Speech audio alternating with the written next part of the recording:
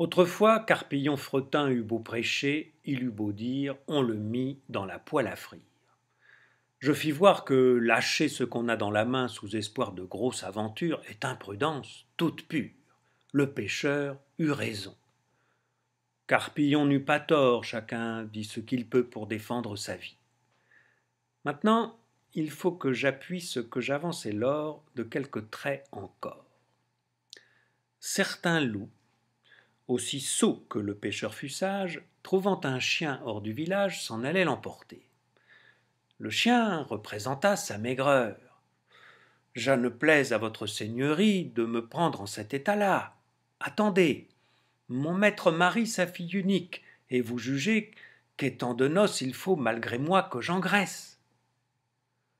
Le loup le croit, le loup le laisse, le loup, quelques jours écoulés, revient voir si son chien n'est point meilleur à prendre.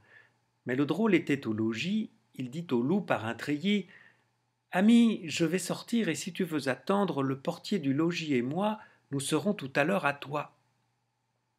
Ce portier du logis était un chien énorme, expédiant les loups en forme. Celui-ci s'en douta.